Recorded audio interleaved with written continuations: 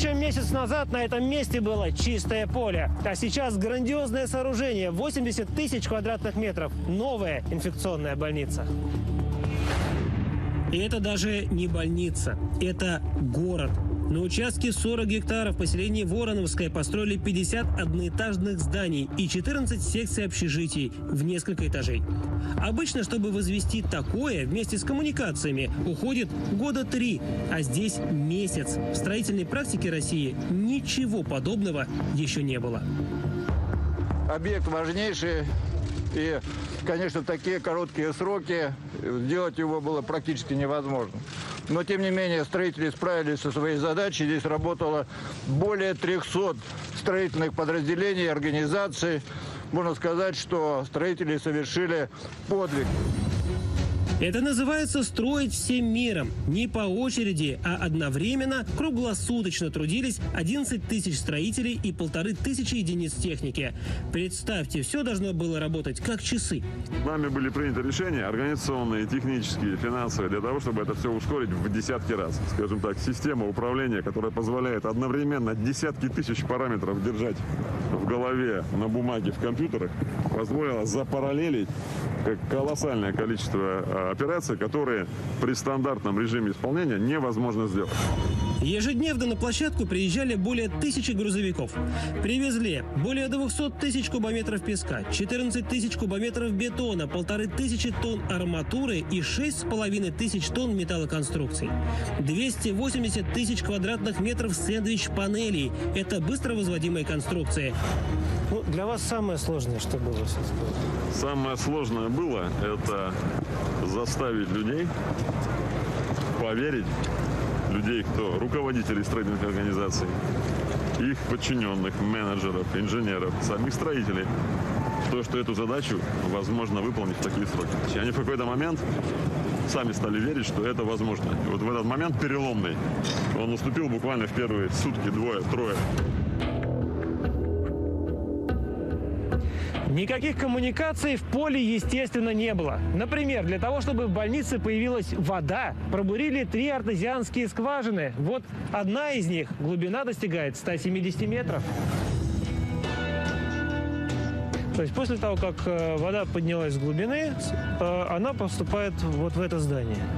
Да, она поступает в здание водоподготовки. Система обратного осмоса, к слову, это российское оборудование, делает воду питьевой. 1250 кубометров в сутки, что на четверть больше потребностей больницы. После использования воду ждет не одна степень очистки.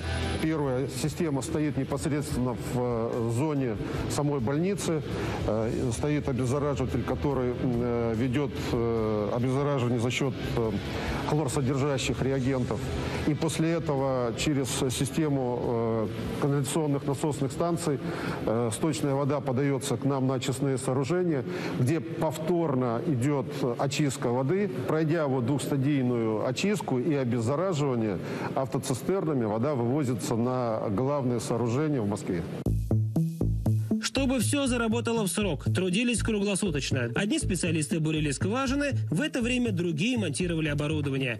По принципу, когда работают все и сразу, решал задачу и Мосгаз, который должен нагреть воду.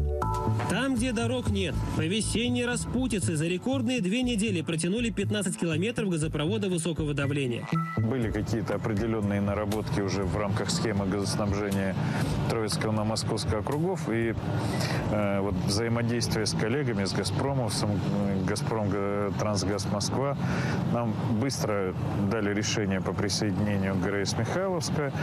И как надежный источник. Важно, чтобы все, вся инженерия, которая здесь собрана на площадке для такого ответственного центра, она должна быть надежной. Пока строили газопровод, кипела работа над котельной. Обычно объект мощностью в 15,5 гигакалорий в час строит полгода. Справились за три недели. Скорости добавило то, что основные узлы оборудования, тоже российского, собирали на производстве, а здесь соединяли, в том числе силами сварщиков, победителей чемпионата мира. Работают котлы, работают на ту нагрузку, которую сегодня принимает медицинский центр. Вот этот самый большой котел, он находится в резерве.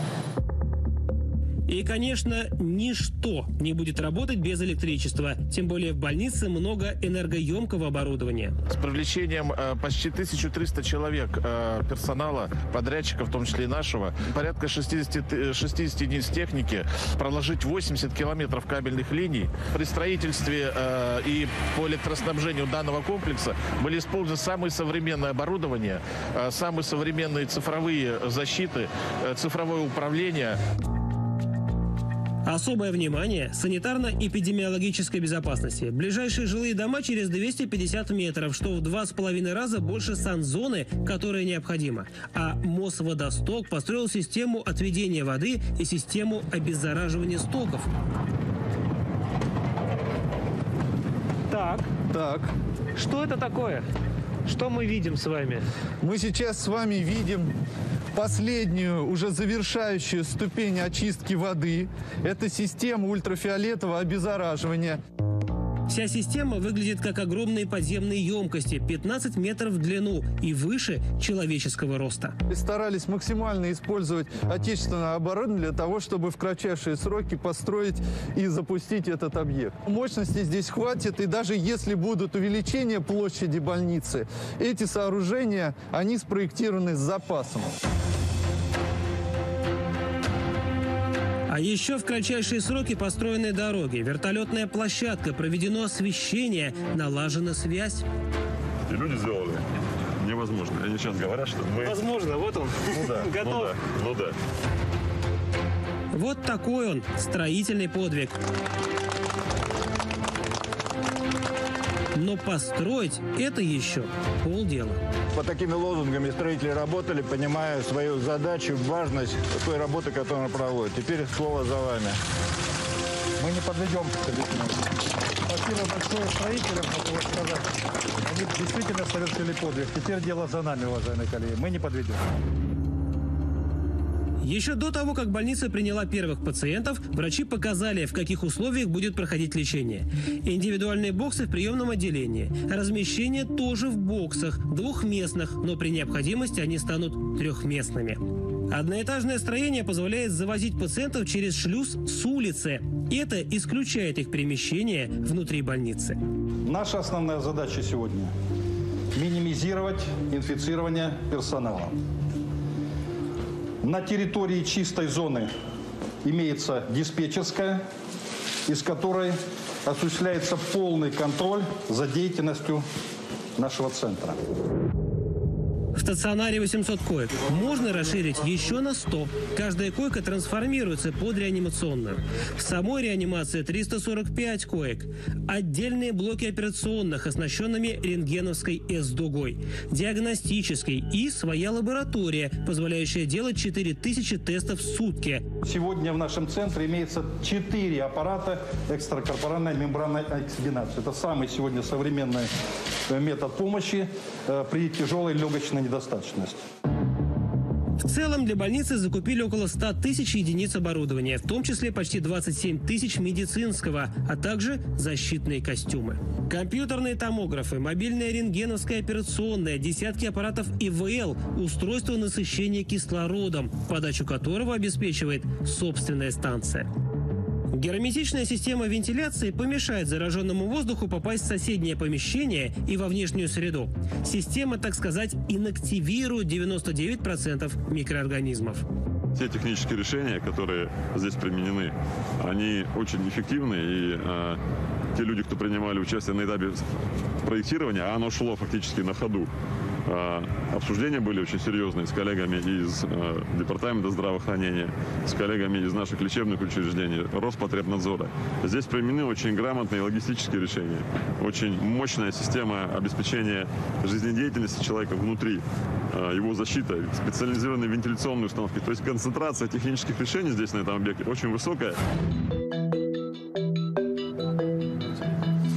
На схеме видно, где находится жилая зона, а где зараженные коронавирусом. Чтобы туда попасть, нужно пройти через сам пропускник. Он построен по такому принципу, чтобы разделять потоки, как в аэропорту. Мощность 1400 человек в сутки. Поскольку больница находится далеко от города, персонал 1300 человек здесь может жить постоянно, в комфортных условиях. Душ, туалет, все есть. Есть бытовая техника, а размещение происходит в двухместных или одноместных номерах.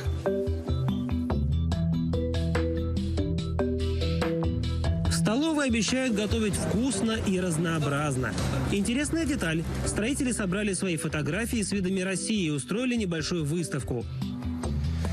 Жизнь на территории инфекционной больницы – это, конечно, не только работа, работа и еще раз работа. Отдыхать тоже необходимо. Пожалуй, это единственная в Москве спортивная площадка на открытом воздухе, но на закрытой территории для тех, кто борется с коронавирусом. Медперсонал новой больницы, а это почти тысяча специалистов, уже прошел стажировку в стационарах Москвы, где принимают пациентов с коронавирусом. Штат будет пополняться. Инфекционная больница, безусловно, станет источником новых знаний. Обмен опытом и новейшее оборудование, например, такие роботы-симуляторы, помогут обучить медперсонал. Доктор, я плохо себя чувствую. Ну, совсем как живой. Он может имитировать э, огромное количество клинических сценариев, при которых э, мог, могут обучаться студенты. То есть он будет э, реагировать на разного рода введение препаратов, реагировать на аускультацию, на пальпацию. Вообще-то роботы ценой несколько миллионов рублей сделаны в Казани для американского рынка. Но из-за пандемии туда не попали, а пригодились там, где родились. Уже в ближайшие недели Международный медкластер Сколково планирует здесь обучить более тысячи врачей. Постепенно сформируется некий центр компетенции, который сейчас у нас есть в коммунарке, да? Постепенно и здесь формируется такой же центр компетенции, я думаю, федерального уровня. Угу. Это за государственный счет, но в итоге это окупается спасенными жизнями. Получается, инфекционный центр только начал работу, а для многих уже принес серьезный опыт, который будет неоценим в будущем. Опыт, который здесь приобрели и подрядные организации, и управленцы, и подразделения правительства Москвы, мы, конечно, будем применять на других стройках. И уже, в принципе, указание Сергей Семенович Собянин дал на то, чтобы мы объекты здравоохранения начали строить в ускоренном режиме, в том числе, э, скажем, имея некий опыт уже взаимодействия с поставщиками оборудования, с, с изготовителями инженерного оборудования. Поэтому, конечно, опыт великолепный. Будет не лишним еще раз подчеркнуть, что больница не временное, а капитальное сооружение, прослужит десятилетия. А значит, после победы над коронавирусом она принесет еще немалую пользу для борьбы с другими инфекциями.